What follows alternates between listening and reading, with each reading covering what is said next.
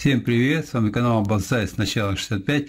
Хочу показать, как правильно прививку делать в расщеп, чтобы, э, ну, и рассказать, чтобы было единое целое стволе, как будто это. Вот, вот это подвой, лимон дикий, с семечкой выращенный, это привой каламандин. Здесь, когда делаете расщеп подвой, то есть, да, сюда, чтобы привой сажать, клинышек, клинышек не заглубляйте глубоко, чтобы камбий чуть где-то на ноготь, ну, на миллиметр был ниже среза клинышка.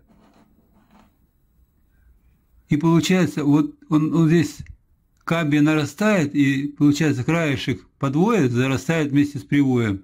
И получается, как будто единое целое с прививки.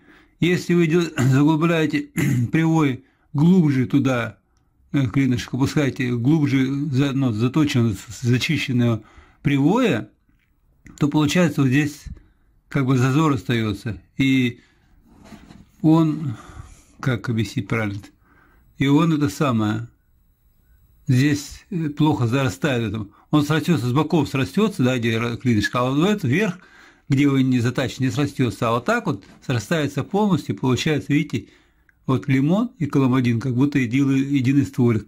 А с возрастом, когда вырастет, вы даже эту прививку практически не заметите. Она так зарастет ровненько, что... А когда вы заглубляете, да, она срастается так же, но здесь остается как бы ступенька. А так нет. Вот тут я хотел показать, как правильно все-таки надо делать прививку в расщеп. Ну, все, что хотел показать, я рассказать, я рассказал. Так что смотрите мое видео, я еще показывать буду в дальнейшем. Интересное. Кому интересно мой канал, подписывайтесь, ставьте лайк и жмите на колокольчик, чтобы не пропустить следующее видео. Всем пока-пока, всем удачных прививок, выращивать бонсай, с него можно бонсай чекурить, потом тоже так же гнуть стволик и прочее. Всем пока-пока.